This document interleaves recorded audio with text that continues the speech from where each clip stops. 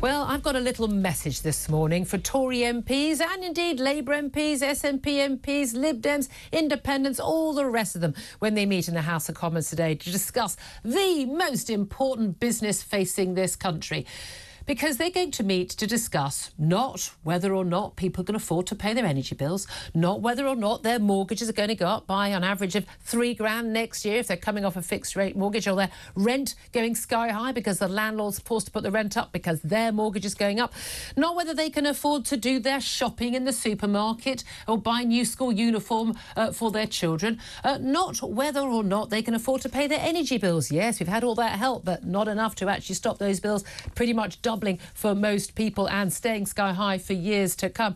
Not whether they've ever got a chance of perhaps affording a holiday, uh, saving up to actually buy their own home if they haven't actually got to that position yet, and dealing with all the other issues we've got coming ahead with us in this country, dealing with crime, uh, dealing with uh, concerns about our children's education, mental health, whether or not they'll actually get that operation on the NHS or not, all the things that are going wrong in a country where an awful lot of us perceive that things just don't work anymore. No, MPs are going to discuss whether or not Boris Johnson should be allowed a Commons pass.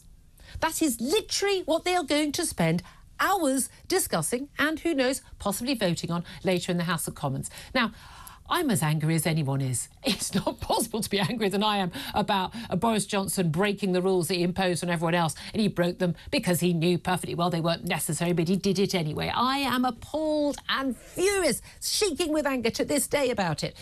But he's stood down as Prime Minister. He's stood down as an MP. He can write as many angry articles and letters as he wants. At the end of the day, he's gone. He's the past.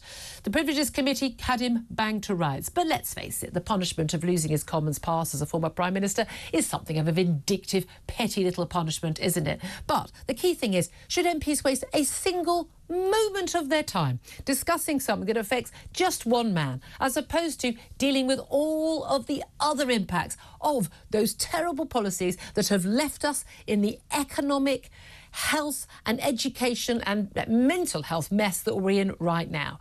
MPs, please, for the love of God, that in, in debate should be introduced and it should be ended within five minutes. We want you to discuss the stuff that actually affects us in our day to day lives, paying the bills, paying the mortgage or the rent, our children getting educated, and getting the operations and the health treatment we need. If you are not going to be tackling those issues, frankly, you've got no business being in Parliament yourselves. You should follow Boris Johnson and get booted out the door.